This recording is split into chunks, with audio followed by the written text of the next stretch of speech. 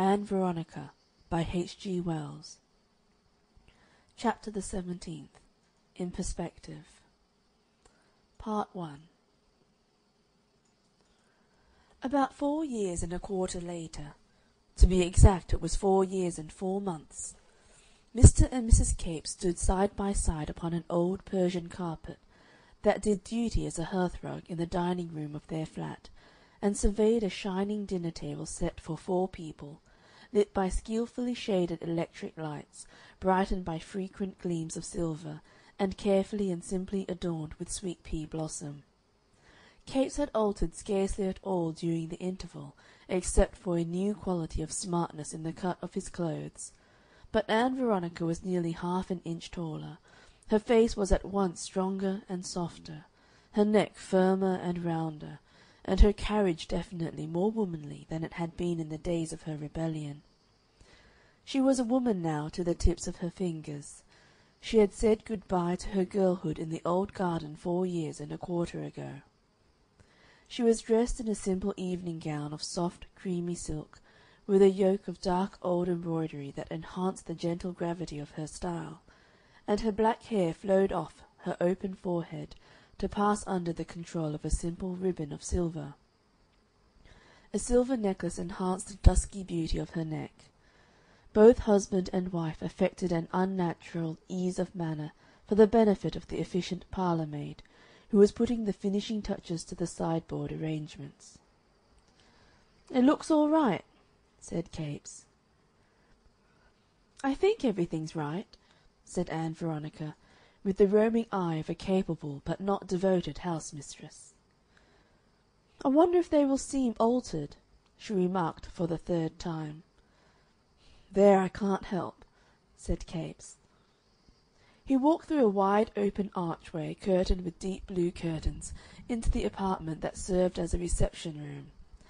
Ann Veronica, after a last survey of the dinner appointments, followed him, rustling came to his side by the high brass fender, and touched two or three ornaments on the mantel above the cheerful fireplace.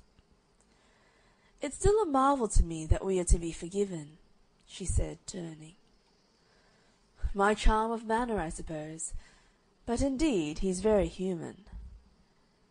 "Did you tell him of the registry office?" "No, certainly not so emphatically as I did about the play. It was an inspiration your speaking to him." I felt impudent. I believe I am getting impudent. Had not been near the Royal Society since since you disgraced me. What's that?" They both stood listening.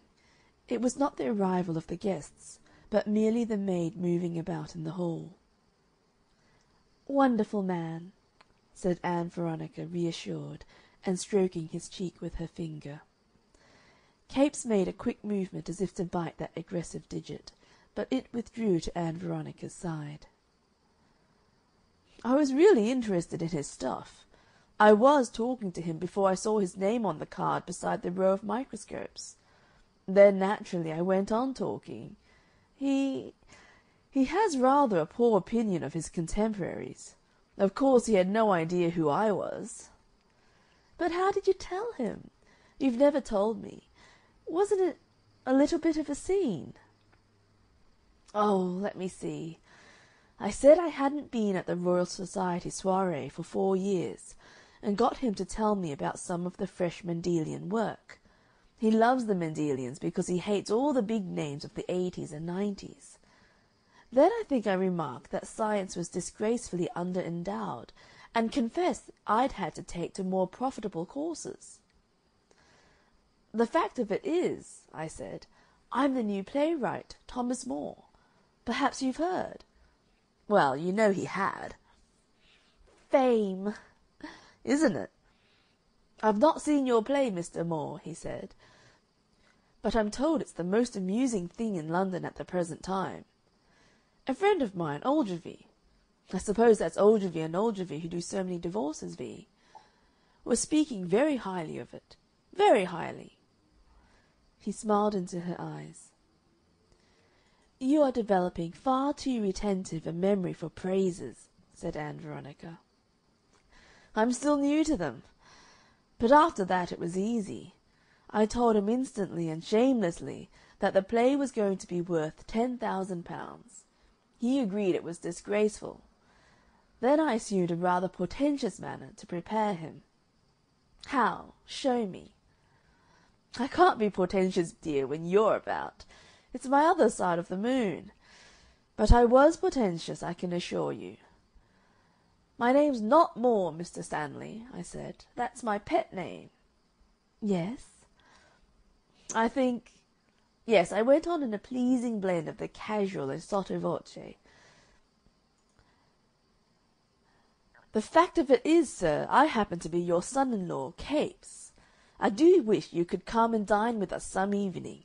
It would make my wife very happy." "What did he say?" What does any one say to an invitation to dinner point blank? One tries to collect one's wits. "She is constantly thinking of you," I said. And he accepted meekly. Practically. What else could he do? You can't kick up a scene on the spur of the moment in the face of such conflicting values as he had before him. With me behaving as if everything was infinitely matter of fact, what could he do? And just then Heaven sent old Manningtree. I didn't tell you before the fortunate intervention of Manningtree, did I? He was looking quite infernally distinguished, with a wide crimson ribbon across him. What IS a wide crimson ribbon? Some sort of knight, I suppose. He is a knight. "Well, young man," he said, "we haven't seen you lately." And something about Bateson and Co. He's frightfully anti Mendelian. Having it all their own way. So I introduced him to my father in law like a shot. I think that WAS decision. Yes, it was Manningtree really secured your father. He "Here they are!" said Ann Veronica, as the bell sounded. Part 2 They received the guests in their pretty little hall with genuine effusion. Miss Stanley threw aside a black cloak to reveal a discreet and dignified arrangement of brown silk, and then embraced Ann Veronica with warmth. "So very clear and cold," she said. "I feared we might have a fog." The housemaid's presence acted as a useful restraint. Ann Veronica passed from her aunt to her father, and put her arms about him and kissed his cheek. "Dear old daddy!" she said, and was amazed to find herself shedding tears. She veiled her emotion by taking off his overcoat. "And this is Mr. Capes," she heard her aunt saying. All four people moved a little nervously into the drawing room, maintaining a sort of fluttered amiability of sound and movement. Mr. Stanley professed a great solicitude to warm his hands. "Quite unusually cold for the time of year," he said. "Everything very nice, I am sure. Miss Stanley murmured to Capes as he steered her to a place upon the little sofa before the fire. Also she made little pussy like sounds of a reassuring nature. "And let's have a look at you, Vee," said Mr. Stanley, standing up with a sudden geniality and rubbing his hands together. Ann Veronica, who knew her dress became her, dropped a curtsy to her father's regard. Happily they had no one else to wait for, and it heartened her mightily to think that she had ordered the promptest possible service of the dinner. Capes stood beside Miss Stanley, who was beaming unnaturally, and Mr. Stanley, in his effort to seem at ease, took entire possession of the hearth rug. "You found the flat easily?" said Capes in the pause. "The numbers are a little difficult to see in the archway. They ought to put a lamp her father declared there had been no difficulty. "Dinner is served, mum," said the efficient parlour maid in the archway, and the worst was over. "Come, daddy," said Ann Veronica, following her husband and Miss Stanley, and in the fullness of her heart she gave a friendly squeeze to the parental arm. "Excellent fellow," he answered a little irrelevantly. "I didn't understand, Vee. "Quite charming apartments," Miss Stanley admired. "Charming! Everything is so pretty and convenient." The dinner was admirable as a dinner. Nothing went wrong, from the golden and excellent clear soup to the delightful iced marrons and cream, and Miss Stanley's praises died away to an appreciative acquiescence. A brisk talk sprang up between Capes and Mr. Stanley, to which the two ladies subordinated themselves intelligently. The burning topic of the Mendelian controversy was approached on one or two occasions, but avoided dexterously, and they talked chiefly of letters and art and the censorship of the English stage. Mr. Stanley was inclined to think the censorship should be extended to the supply of what he styled latter day fiction. Good, wholesome stories were being ousted, he said, by vicious, corrupting stuff that left a bad taste in the mouth. He declared that no book could be satisfactory that left a bad taste in the mouth, however much it seized and interested the reader at the time. He did not like it, he said, with a significant look, to be reminded of either his books or his dinners after he had done with them. Capes agreed with the utmost cordiality. "Life is upsetting enough without the novels taking a share," said Mr. Stanley. For a time Ann Veronica's attention was diverted by her aunt's interest in the salted almonds. "Quite particularly nice," said her aunt. "Exceptionally so." When Ann Veronica could attend again she found the men were discussing the ethics of the depreciation of house property through the increasing tumult of traffic in the West End, and agreeing with each other to a devastating extent. It came into her head with real emotional force that this must be some particularly fantastic sort of dream. It seemed to her that her father was in some inexplicable way meaner looking than she had supposed, and yet also, as unaccountably, appealing. His tie had demanded a struggle; he ought to have taken a clean one after his first failure. Why was she noting things like this? Capes seemed self possessed and elaborately genial and commonplace, but she knew him to be nervous by a little occasional clumsiness, by the faintest shadow of vulgarity in the urgency of his hospitality. She wished he could smoke and dull his nerves a little. A gust of irrational impatience blew through her being. Well, they'd got to the pheasants, and in a little while he would smoke. What was it she had expected? Surely her moods were getting a little out of hand. She wished her father and aunt would not enjoy their dinner with such quiet determination.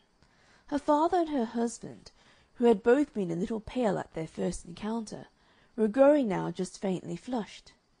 It was a pity people had to eat food. "I suppose," said her father, "I have read at least half the novels that have been at all successful during the last twenty years. Three a week is my allowance, and, if I get short ones, four. I change them in the morning at Cannon Street, and take my book as I come down." It occurred to her that she had never seen her father dining out before, never watched him critically as an equal. To Capes he was almost deferential, and she had never seen him deferential in the old time never. The dinner was stranger than she had ever anticipated. It was as if she had grown right past her father into something older and of infinitely wider outlook, as if he had always been unsuspectedly a flattened figure, and now she had discovered him from the other side. It was a great relief to arrive at last at that pause when she could say to her aunt, "Now, dear," and rise and hold back the curtain through the archway. Capes and her father stood up, and her father made a belated movement toward the curtain. She realized that he was the sort of man one does not think much about at dinners. And Capes was thinking that his wife was a supremely beautiful woman. He reached a silver cigar and cigarette box from the sideboard and put it before his father in law, and for a time the preliminaries of smoking occupied them both. Then Capes flitted to the hearthrug and poked the fire, stood up, and turned about. "Ann Veronica is looking very well, don't you think?" he said a little awkwardly. "Very," said Mr. Stanley. "Very," and cracked a walnut appreciatively. "Life things I don't think her prospects now hopeful outlook." "You are in a difficult position. Mr. Stanley pronounced, and seemed to hesitate whether he had not gone too far. He looked at his port wine as though that tawny ruby contained the solution of the matter. "All's well that ends well," he said, "and the less one says about things the better." "Of course," said Capes, and threw a newly lit cigar into the fire through sheer nervousness. "Have some more port wine, sir?" "It's a very sound wine," said Mr. Stanley, consenting with dignity. "Ann Veronica has never looked quite so well, I think," said Capes, clinging, because of a preconceived plan to the suppressed topic. Part 3 At last the evening was over, and Capes and his wife had gone down to see Mr. Stanley and his sister into a taxicab, and had waved an amiable farewell from the pavement steps. "Great dears!" Said Capes, as the vehicle passed out of sight. "Yes, aren't they?" said Ann Veronica, after a thoughtful pause. And then they seem changed." "Come in out of the cold," said Capes, and took her arm. "They seem smaller, you know even physically smaller," she said. "You've grown out of them. Your aunt liked the pheasant." "She liked everything. Did you hear us through the archway talking cookery?" They went up by the lift in silence. "It's odd said Ann Veronica, re entering the flat. "What's odd?" "Oh, everything!" She shivered, and went to the fire and poked it. Capes sat down in the arm chair beside her. "Life's so queer," she said, kneeling and looking into the flames. "I wonder I wonder if we shall ever get like that." She turned a firelit face to her husband. "Did you tell him?" Capes smiled faintly. "Yes." "How?" "Well, a little clumsily." "But how?"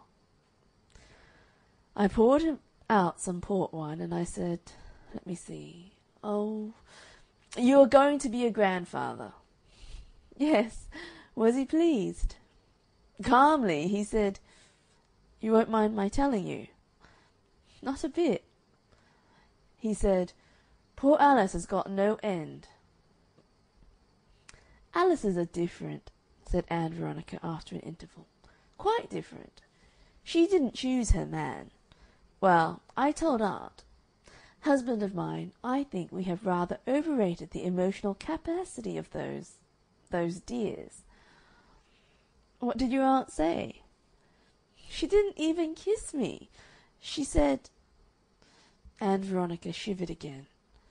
"I hope it won't make you uncomfortable, my dear. Like that. And whatever you do, do be careful of your hair. I think I judge from her manner that she thought it was just a little indelicate of us, considering everything, but she tried to be practical and sympathetic and live down to our standards." Capes looked at his wife's unsmiling face. "Your father," he said, "remarked that all's well that ends well, and that he was disposed to let bygones be bygones. He then spoke with a certain fatherly kindliness of the past. And my heart has ached for him. Oh, no doubt it cut him at the time. It must have cut him. We might even have given it up for them. I wonder if we could. I suppose all is well that ends well. Somehow to night I don't know." "I suppose so. I'm glad the old score is assuaged. Very glad. But if we had gone under They regarded one another silently, and Ann Veronica had one of her penetrating flashes. "We are not the sort that goes under," said Ann Veronica holding her hands so that the red reflections vanished from her eyes. "We settled long ago. We're hard stuff. We're hard stuff." Then she went on: "To think that is my father! Oh, my dear! He stood over me like a cliff. The thought of him nearly turned me aside from everything we have done. He was the social order. He was law and wisdom. And they come here, and they look at our furniture to see if it is good. And they are not glad, it does not stir them, that at last, at last we can dare to have children." She dropped back into a crouching attitude and began to weep. "Oh, my dear!" she cried, and suddenly flung herself kneeling into her husband's arms. "Do you remember the mountains? Do you remember how we loved one another, how intensely we loved one another? Do you remember the light on things and the glory of things? I'm greedy, I'm greedy. I want children like the mountains and life like the sky. Oh, and love, love!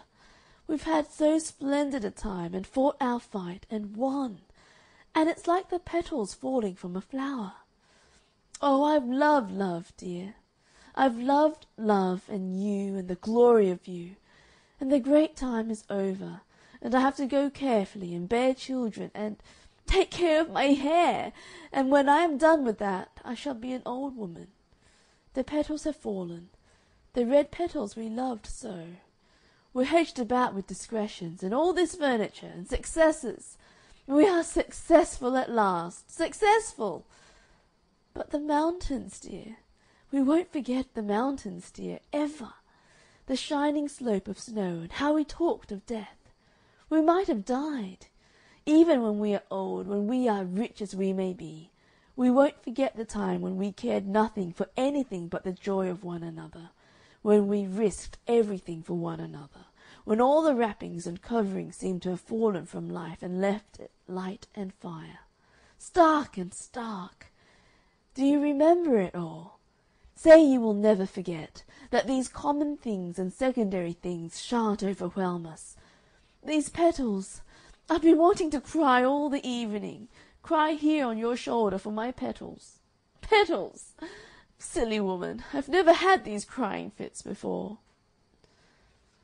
"Blood of my heart," whispered Capes, holding her close to him. "I know. I understand." End of Chapter 17 End of Ann Veronica